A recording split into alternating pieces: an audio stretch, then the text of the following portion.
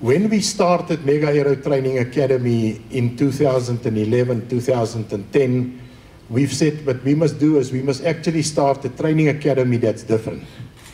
And what we've decided from the inception of MATA, we've decided that we're going to follow the EASA, which is the European Aviation Safety Agency, uh, Part 66 training guidelines.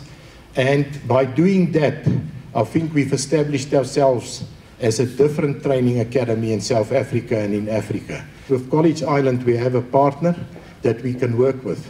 And the aim of this partnership is that we can establish and achieve our goal of getting accreditation for our students. So when a student leaves Mega Aero Training Academy, he will be duly qualified. He will be qualified under South African civil aviation as well as he will qualify under a European accreditation.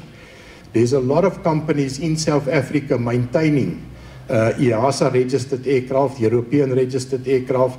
There's a lot of airlines flying into South Africa that is turned around on the, in Oliver Tambo and other airports which requires EASA approvals.